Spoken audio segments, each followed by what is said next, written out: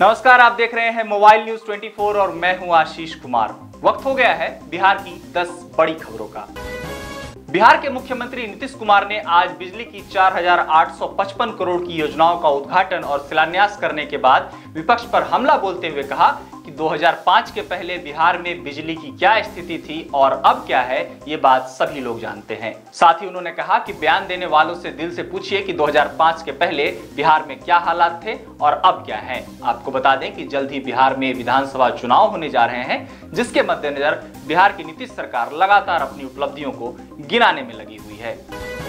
बिहार के समस्तीपुर ज़िले के बिथान प्रखंड में दर्जिया कुहा बाँध के समीप आज दोपहर एक नाव हादसे का शिकार हो गई। नाव में 12 से 14 लोग सवार थे और इस घटना के दौरान अधिकांश लोगों ने तैरकर अपनी जान बचाई। वहीं इस घटना में तीन लोगों के लापता होने की बात कही जा रही है। लापता लोगों की तलाश जारी है और मौके पर एनडीआरएफ की टीम भी पहुँच चुकी है। कोरोना काल में तमाम एहतियात और प्रतिबंधों के चलते भारतीय रेल नियमित यात्री गाड़ियों के संचालन को लेकर भले ही अभी कोई फैसला ना ले पाई हो, लेकिन विशेष ट्रेनों की संख्या लगातार बढ़ाई जा रही है। खासकर उत्तर प्रदेश, बिहार और बंगाल रूट पर रेलगाड़ियों में भीड़ बढ़ने लगी है, जिसको लेकर रेलवे संबंधित राज्यों और गृह मंत्रालयों के संपर्क में है।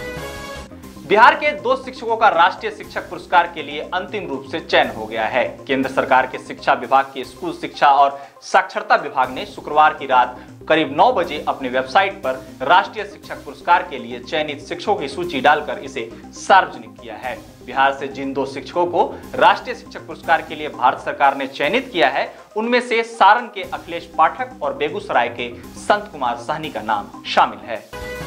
बिहार विधानसभा आम चुनाव की तैयारियों को लेकर बिहार के मुख्य निर्वाचन पदाधिकारी सोमवार को सभी जिलों के जिला निर्वाचक पदाधिकारी सह जिलाधिकारियों के साथ बैठक करेंगे। यह बैठक वीडियो कॉन्फ्रेंसिंग के माध्यम से होगी और आधिकारिक सूत्रों के अनुसार इस बैठक में चुनाव को लेकर मतदान स्थलों में की जाने वाली व्यवस्था, जनसभाओं को लेकर उपलब्ध मैदान को चिन्हित करने, ईवीएम जाँच, संविदा पर कार्यरत कर्मियों का ब्यौरा एकत्र करने सहित विभिन्न विषयों पर चर्चा होगी।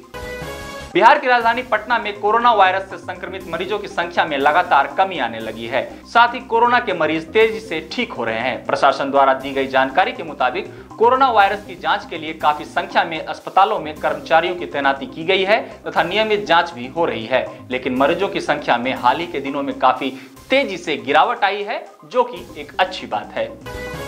बिहार के गोपालगंज ज़िले के कॉलेज रोड में शुक्रवार की देर रात करीब साढ़े नौ बजे अज्ञात बदमाशों ने एक डॉक्टर के निजी क्लिनिक पर फायरिंग कर दहशत फैला दी।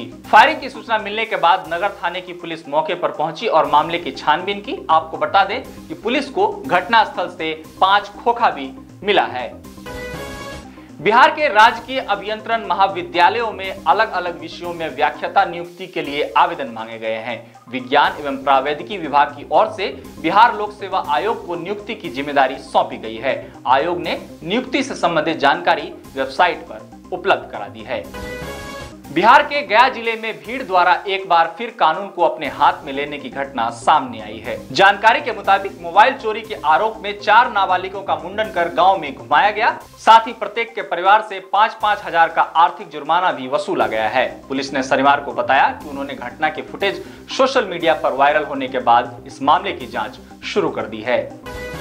बिहार के मुजफ्फरपुर ज़िले में राष्ट्रीय स्वास्थ्य मिशन के नाम पर हो रहे घोटाले का भंडाफोड़ हुआ है। दरअसल यहाँ पैंसठ वर्षीय एक महिला ने सरकारी कागजों के हिसाब से 14 महीने में आठ बच्चियों को जन्म दिया है, जहाँ इस मामले के सामने आने के बाद हड़कम मच गया। दरअसल, बच्चियों के पैदा होने पर मिलने वाली प्रोत्साहन राशि के गबन के लिए इस पूरे प्रकरण को अंजाम दिया गया है। तो ये थी बिहार की 10 बड़ी खबरें। ऐसे ही खबरों से अपडेट रहने के लिए आप हमारे चैनल मोबाइल न्यूज़ 24 को ज़रूर सब्सक्राइब कर लें। साथ ही इस वीडियो को ज़्यादा से ज़्यादा लाइक, शेयर और कमेंट करें और देश दुनिया की तमाम खबरों से अपडेट रहने के लिए देखते रहिए मोबाइल न्यूज़ 24